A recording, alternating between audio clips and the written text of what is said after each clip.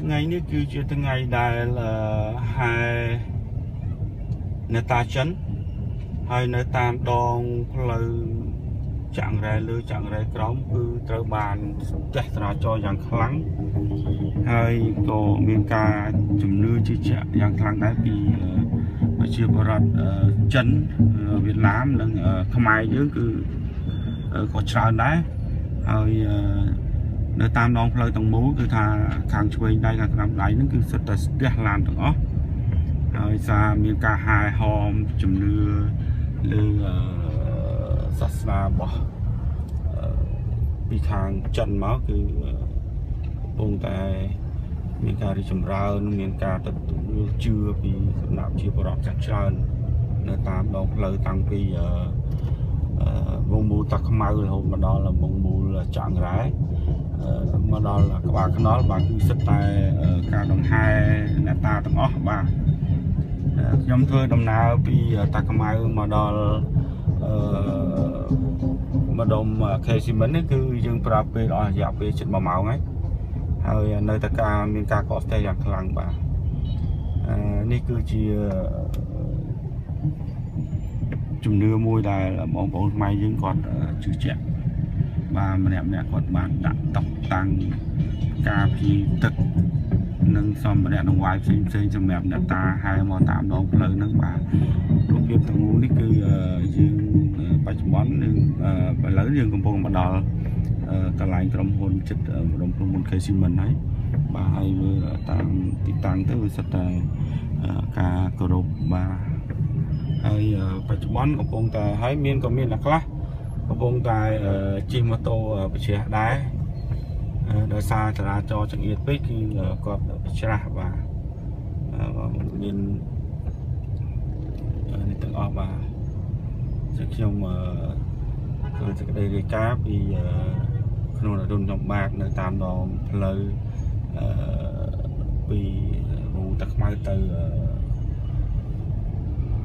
ស្ពានក្បាលខ្នល់ស្ពានអាកាសក្បាលខ្នល់បាទ នេះគឺស្រាចរកំពុងតែស្ទះហើយមានអាជីវច្រាស់បដាបដាហើយបាទនេះគឺអឺជាសកម្មភាពមួយដែលកំពុងតែកើតមានបាទនៅលើដងផ្លូវហើយសូម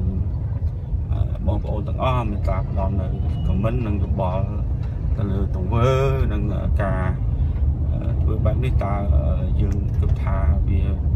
ល្អឬក៏យ៉ាងម៉េចបាទដើម្បីមានការអប់រំកែតម្រូវទាំងអស់គ្នាសម្រាប់ឲ្យយុវជននិងជំនាន់ក្រោយគាត់បានការស្វែងយល់បាទហើយឥឡូវនេះខ្ញុំបានចេញដំណើរបានស្រួលបន្តិចហើយគឺនៅខាងស្នាមដៃខ្ញុំនេះគឺអាចទៅបានស្រួលតែនៅខាងវិញដៃគឺមានការកោះផ្ទះឡើងខ្លាំងហើយខ្ញុំជឿថាការវិលត្រឡប់ចូលទៅទីក្រុងភ្នំពេញគឺមានការស្ទះខ្លាំង ដោយសារអ្នកតាទាំងអស់គាត់នឹងហែត្រឡប់ទៅវិញមុននេះបន្តិចគាត់ហែត្រឡប់ហែចូលទៅក្រុងភ្នំពេញហើយឥឡូវគាត់ត្រឡប់ទៅតាខ្មៅវិញអញ្ចឹងបណ្ដាលឲ្យផ្លូវមួយចំហៀងនេះគឺមានការកកស្ទះយ៉ាងខ្លាំងបាទហើយខ្ញុំបាទសូមទំនុំពោដែរទៅដល់អាជ្ញាធរអឺជួយសហការធ្វើយ៉ាងណាទៅរួចចរាចរណ៍នៅតាមដងផ្លូវនេះបាទដោយសារអឺយើងគិតថាជាការគោរព ការទទួលយកពរជ័យជាល្អហើយប៉ុន្តែធ្វើឲ្យប៉ះពាល់អឺមួយចំនួនដល់ប្រជាពលរដ្ឋដែលគាត់កំពុងធ្វើដំណើរលើដងផ្លូវនេះបាទសូមអឺ